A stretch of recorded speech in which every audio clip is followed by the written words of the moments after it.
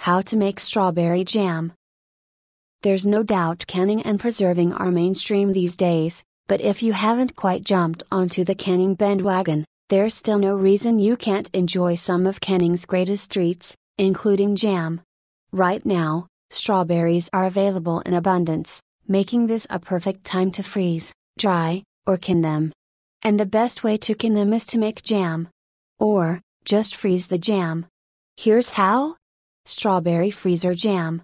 2 cups hulled and crushed strawberries 4 cups granulated sugar 3 fourths cup water 1 box pectin, look for it in the canning section of the supermarket or a big box store sterilize some plastic freezer containers by pouring boiling water over them.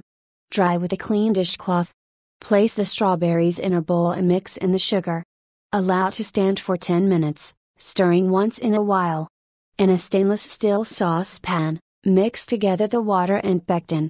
Place over high heat and bring to a boil, stirring constantly. Boil hard and stir for 1 minute. Add the strawberry mixture to the saucepan and cook for 3 minutes, or until the sugar is nearly dissolved. Pour the strawberry mixture into the prepared containers, leaving 1 2 inch of empty space between the jam and the top of the container. Cover and let stand at room temperature for 24 hours.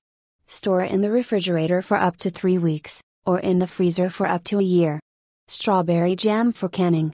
5 cups hulled and crushed strawberries 1 4th cup bottled lemon juice 6 tablespoons pectin 7 cups granulated sugar sterilized jelly canning jars by boiling in the canner for 10 minutes. In a stainless steel saucepan, combine the strawberries and lemon juice. Stir in the pectin. Place over high heat and bring to a full boil that can't be stirred down. Stir constantly. Add the sugar, stirring until dissolved. Return to a full rolling boil and boil hard for 1 minute, stirring constantly. Remove the pan from the heat. Ladle jam into jars, leaving 1 4th inch head space. Process in a boiling water canner for 10 minutes. You can tweak either of these jams by adding half a vanilla bean, split in half along its length, to the crushed berries. Remove the vanilla bean before freezing or canning. Or, add the zest of one lemon to the strawberries.